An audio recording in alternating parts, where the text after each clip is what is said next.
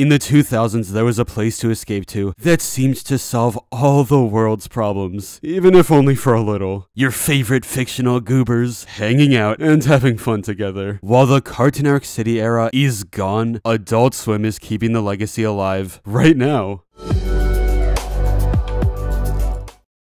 While Cartoon has become a sad, sad shell of its former self, Adult Swim is absolutely poppin'. They're taking over the 5 p.m. time slot on TV, along with a brand new programming block, Checkered Past. This block will air CN classics for the adults of today who grew up watching the shows so many years ago. Promotion is in full swing, and it comes with a few surprises too. The first teaser is a nostalgic dive into shows like Courage and Billy and Mandy, along with experimental clips of characters in new styles. Meanwhile, Ed, Edd and Eddy all hang out in the subway for what looks like the Cartoon Network city.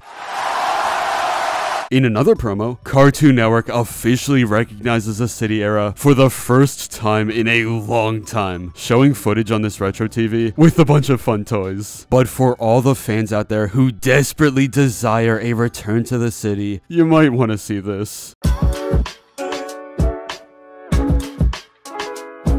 You're looking at Adult Swim's newest checkered past bumper. Dexter dances in a real world cafeteria. Courage runs across a road in the middle of nowhere. Dee Dee runs across a road in the middle of everywhere. Grim chills in the countryside with some cute sheep friends. Eddy just hangs out in the center of the city. All of these are previously existing animations, but they've been edited into other environments with shadows following their movements. It may not be the exact same thing as CN City, but it also doesn't have to be. This still captures that immaculate vibe, giving these characters a sort of connected universe to run around in and be themselves. As Checkered Past continues, I think we're gonna get more of these kinds of clips, and I'm not complaining. I just wish we had way more shows added to the lineup, and also for these to be longer. That'd be pretty cool.